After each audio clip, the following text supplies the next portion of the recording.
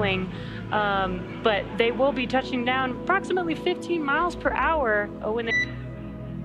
Now, the, the Dragon One program had great success with the water landing with 20 successful.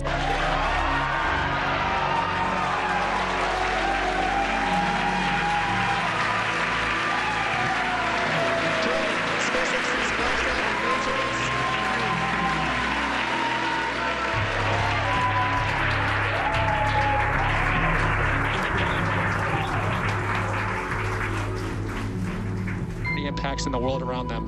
Thank you for sharing your leadership, hope, generosity, and prosperity. And congratulations on your incredible journey. And copy that, SpaceX. Welcome everybody to Crew Dragon Resilience. We're cruising right now at five. Uh, maybe we can show you about some of the science we've been doing here. So, Nova here is showing off our portable ultrasound, which we've been able to use for a number of different experiments, including uh, intrajugular, um, also uh,